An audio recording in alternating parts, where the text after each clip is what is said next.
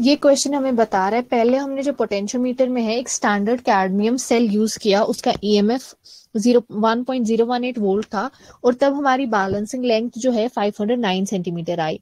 फिर हमने इस स्टैंडर्ड सेल को रिप्लेस कर दिया, एक दूसरी सेल से, और फिर तब हमारा जो बैलेंसिंग लेंथ है, वो 750 सेंटीमीटर आ गया।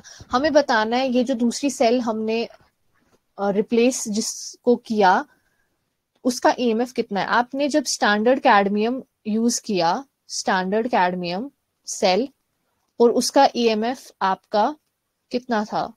1.018 वोल्ट यानी कि 1.018 वोल्ट तब आपका जो बैलेंसिंग लेंथ है, वो 509 सेंटीमीटर था।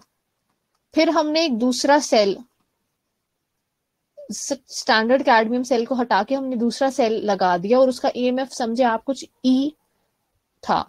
तो तब हमारा जो बैलेंसिंग लेंथ है वो 750 सेंटीमीटर आ गया। हमें बताना ये दूसरी सेल का ईएमएफ e कितना था। हमें पता है कि EMF is directly proportional to the balancing length in proportional in potentiometer यानी कि हम लिख सकते हैं E one by E two is equal to L one by L two ठीक है इवन अगर हम स्टैंडर्ड कैडमियम का ईएमएफ ले, यानी कि 1.018 और जो हमारी दूसरी सेल है, उसका ईएमएफ हम ई टू लें तो ये डायरेक्टली प्रोपोर्शनल होगा एल वन यानी कि हमारा स्टैंडर्ड कैडमियम जब था, तब का balancing length divided by 750 right इसको हम लेंगे E one comma L one और इसको हम लेंगे E two comma L two यहाँ से आपका ई e टू का वैल्यू जो जब आप इसको सॉल्व करेंगे तो आपका ई e टू का वैल्यू अप्रोक्सीमेटली जो है 1.5 वोल्ट आ जाएगा।